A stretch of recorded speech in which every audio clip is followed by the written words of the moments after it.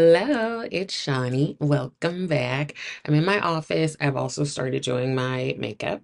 Um, I use the NYX Can't Stop, Won't Stop Concealer as primer, and I've been going in with the Charlotte Tilbury uh, Fire Rose Quad. So I started with this shade, and now I'm going to go in with this shade.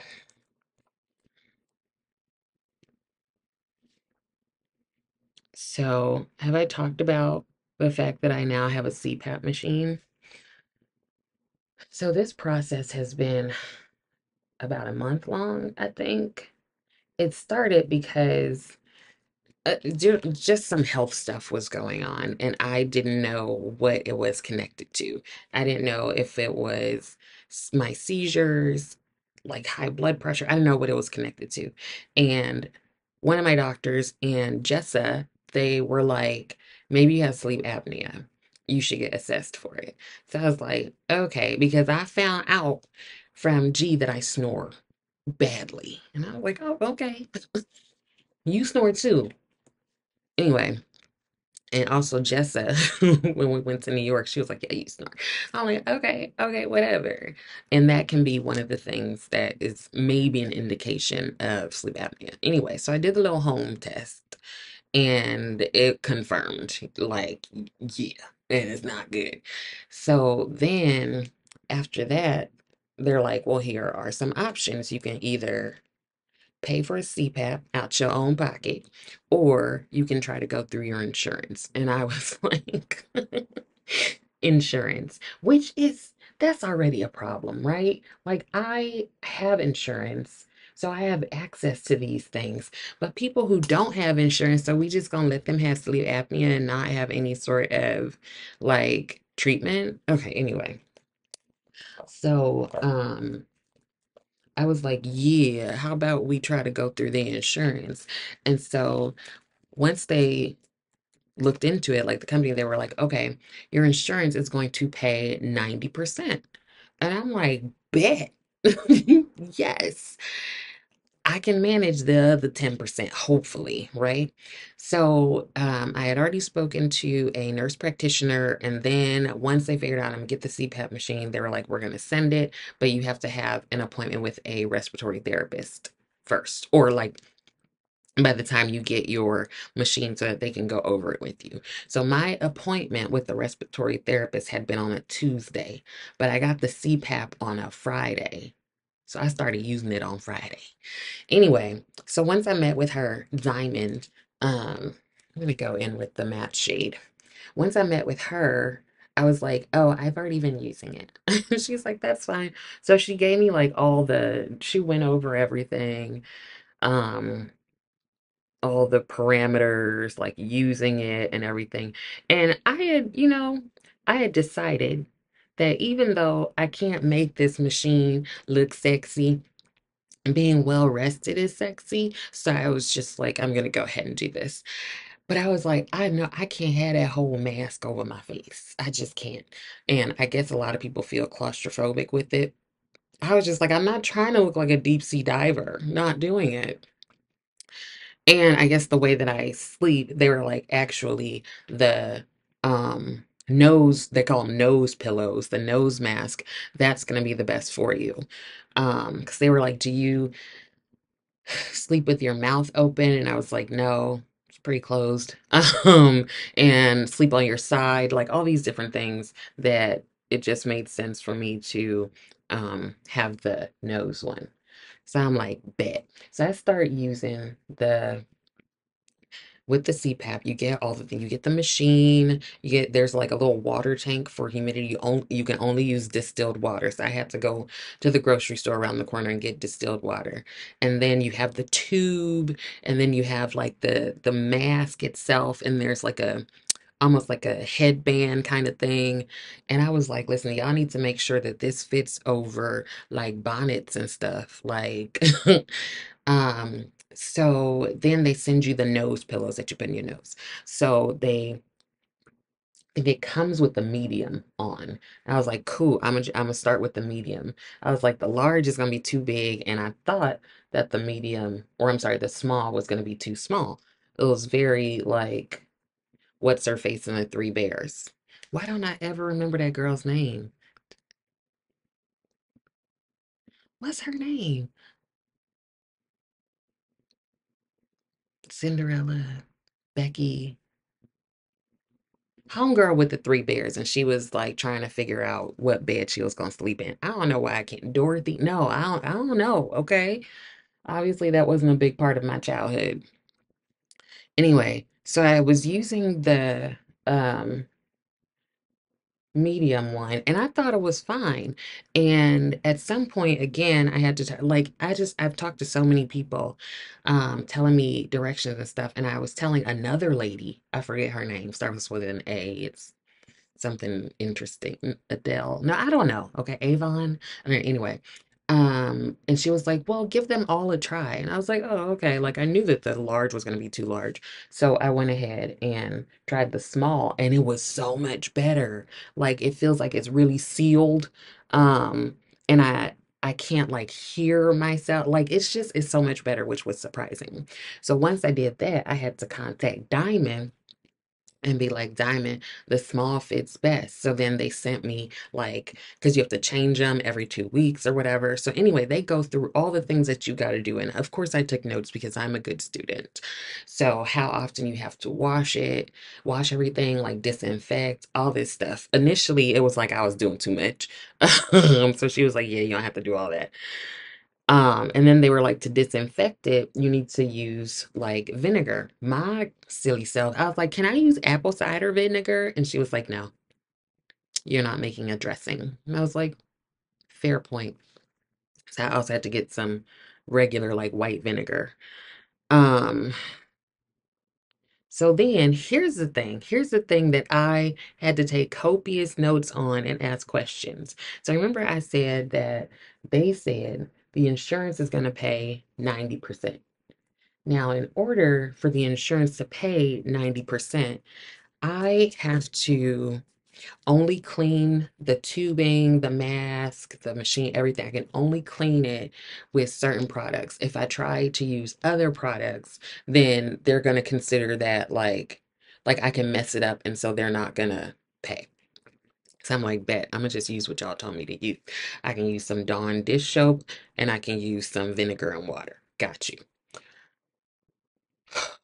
What else did they say? I don't even know. But then the other thing that they said, this is the part that got me. And maybe people who have CPAP machines, they know this, but they were like, you have to use it for at least four hours a night for 21 out of 30 days. And I was like, "Excuse?" And they were like, "If you don't do that, the insurance is probably not gonna pay for it." So they were like, the first 90 days are the most important. I don't know why. I don't know if you have three chances to do the tw 21 days. So I'm like, great. Now I'm now I'm anxious. I was already anxious going to bed. Then I was anxious finding out about the sleep apnea. And y'all, now I'm like, shoot, I gotta get four hours. Like now, now I'm just anxious. And people who have sleep apnea most of the times we're not getting good rest. Um so now now you're gonna add to that but okay. So I was like insurance is shady. And everybody's like well how are they gonna know? Well now like CPAP machines are this newfangled thing where they basically the machine gives the information to the company so they can see if I'm asleep or not. I'm like, this is feeling real Big Brother. Like there was one night, I think I took the daggone CPAP off. Since I've gotten it, I've only like missed one night. And I got a call the next morning and they're like, oh, we noticed that you took it off last night or you didn't meet the four hours. And I'm like, are you in my bedroom? Like, what? What? So basically now I'm like stressed because I need to make sure that I'm getting a certain amount of sleep or they're not gonna pay. I'm like, that's just like insurance. That's just like insurance, right? Like at some point, you're gonna have to pay for something related to my sleep apnea. You're gonna either have to pay for the machine or you're gonna have to pay for whatever health issue like comes around as a result of not treating it. Anyway, so I've been using it for I think like 17 days now, and it comes with an app, right? That you have to download. and you can see like you can get a score of if I if I can show you. You can get a score on your usage and sleep or whatevs. And so, of course, because I am who I am, I want a hundred. I, w- I would like to be at a hundred. I'm not, and I've had to sit with that and, you know, talk to my therapist about it. Um, but what I learned from Reddit is that this app doesn't really tell you much. Like, let me see. My best, I've I've had a couple hundreds, and the lowest I've had is 65. So bad. Like, this is what the app looks like. Do you guys care about this? In, case you are gonna get a CPAP, okay? So they, oh, this is the night I didn't make four hours. They tell you your usage hours. They tell you how good the seal was for the mask. They tell you how many like apnea events you have a night, how many times you take off the mask, and then they give you a score. So that was 65. There were a couple of days when I did get 100. Like, look at that. Apparently, I got seven hours of sleep. I had a good mask seal. I had three events per night, so it's a little less. And I only had my mask off two times. Because if you get up and go to the bathroom, you have to turn the machine off. Because if you don't, they'll like get an alert. And I guess they think you're not alive anymore. And then I don't know what they do. I don't know. Okay. So I have to take, I have to turn it off when I go to the bathroom. These are all things that I'm learning because I've never used one of these machines before. Um, and I've never encountered this issue with insurance. And so I was like, well, like why? And I guess they're trying to like they're trying to remedy people getting the machine and not using it and also not cleaning it properly. And Diamond was telling me some stories and I'm like, oh, that's nasty. That's real na uh, ew. Um, yeah. So And I guess sometimes they used to like come and check on it. Like, I'm like, I don't need you. Like, let me sleep in peace now that I can breathe. Anyway, so I think I've got 17 days done. I only I missed one day, so I think I have 17. And then the thing is, after 30 days, then I have to go to the doctor. And I was like, oh, so a doctor with you all. And they're like, no, just any doctor.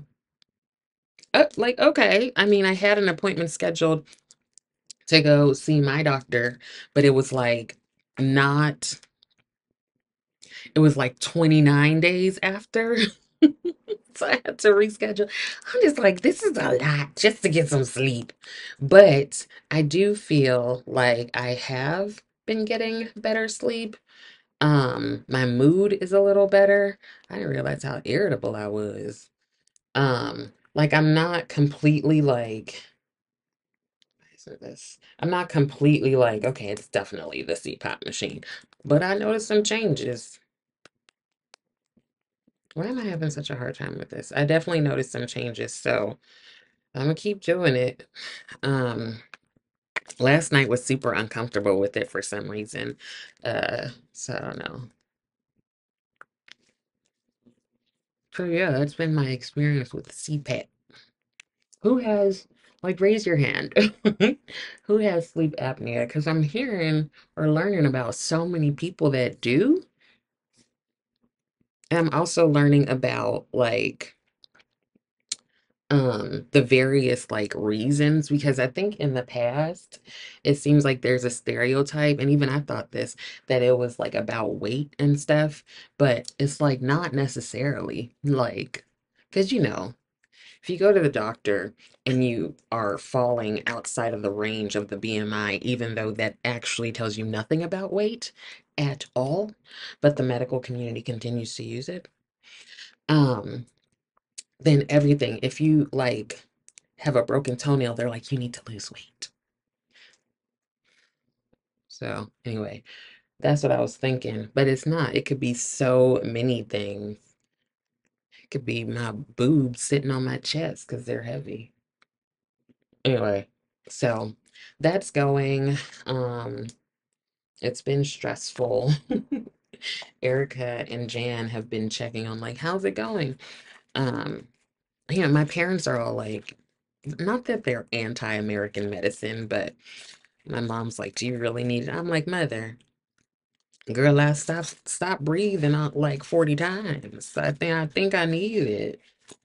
So, needless to say, if you have been recommended It's not that bad. It does take some getting used to. Um, once I got the right size nose pillows, it's even better. Like, it really is. It is kind of weird because, like, so it's like pushing air or whatever. They tell you like the pressure that is your prescription. And since the nose pillows are for people who don't sleep with their mouth open, there have been times where I've like been about to yawn and it's weird because it's the the air pressure is weird. It's it's weird, okay? I don't know. It's weird. But oftentimes I would feel like I had to take or like I needed to take a nap during the day. Maybe sometimes several naps, like really quick cat naps. Although cats nap pretty long. Um, but now I most days I don't feel like I have to, like I that it's a need. It's more of like, "Mm, I want to lay down for a little bit, but sometimes I would literally have like a hard time staying awake, and that was just getting really stressful. Um, yeah, like a hard time staying awake, but then a hard time falling asleep in the evening, because you know, yeah. So anyway, let me know if you've had to use a CPAP, what your experience is. If you have like the full-on Darth Vader mask, or if you have the nose pillows. I think those are the only types of masks they have. Oh, and I was saying that the app isn't doesn't tell you much, but there is another app for free that I downloaded, and it tells you so much more. And that one is just so much it's way more informative because also you can use an SD card and put it into the machine and then just like take it out and download it or whatever and you can see all of your all of the stuff. So that's really good and really helpful. So yeah, I don't know why I felt the need to tell you all that, but here we are.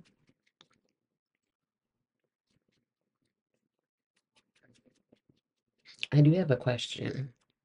I was reading like I think somebody posted on TikTok or something like this therapist, I believe in LA.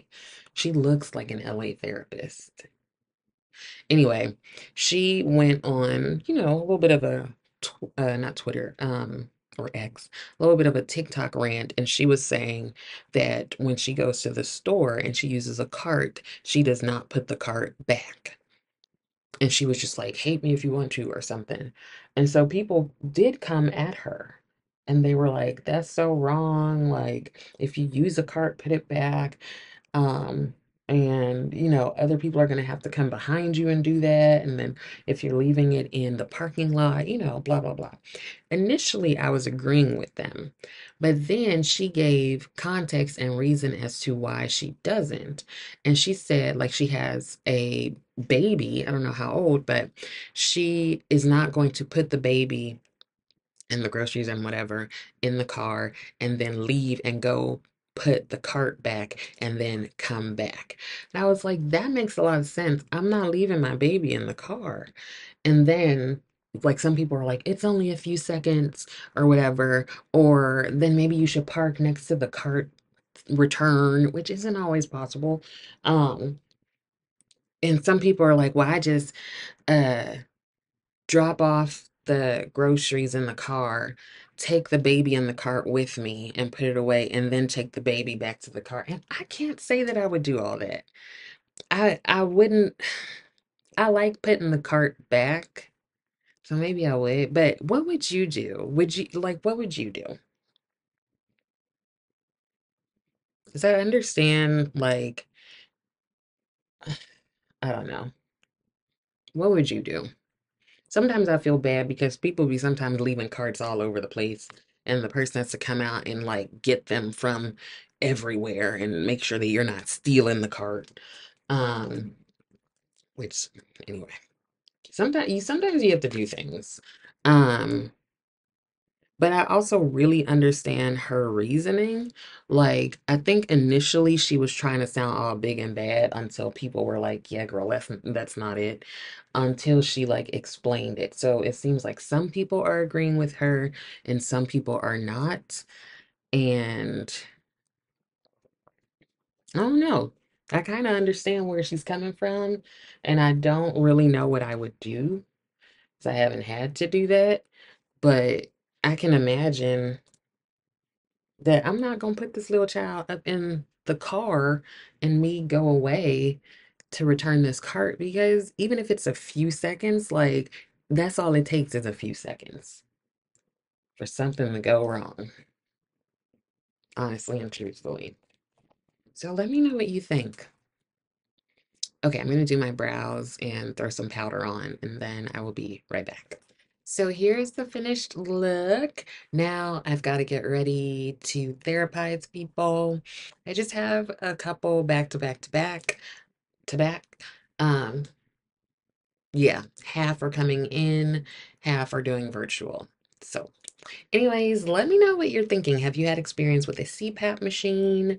Uh, is this my experience? Is this a push for you to go get it checked out? If like a cool person like me can have a CPAP, then so can you. And also let me know what you would do with the the shopping cart thing. I'm curious. Uh, I hope that some of this was helpful, and I also hope that you are continuing to take care of yourself. I would love it if you liked the video, and I would love it even more if you subscribe to the channel. Thank you so much for watching, and I will see you next time.